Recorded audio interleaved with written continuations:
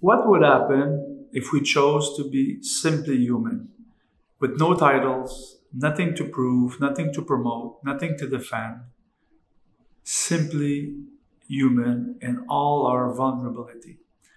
You see, we are born vulnerable and fragile, and we will die vulnerable and fragile. And all of us have learned that between these two key moments of our lives, we need to be strong. We need to show the best side of ourselves because society has taught us through our life experiences that if we don't show the very best side of ourselves, we will feel that we are not worthy. We'll feel that we are not lovable, that we are not deserving of love, attention, recognition. This is an old story. This is the societal program that all of us have inherited. And it's time to create a new story.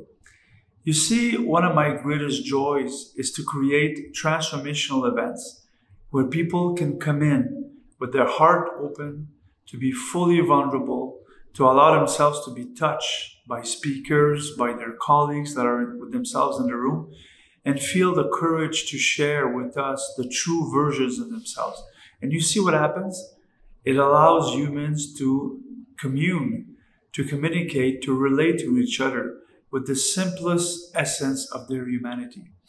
You see, we all have an essence. There is a version of ourselves behind all the mask that is the true versions of ourselves.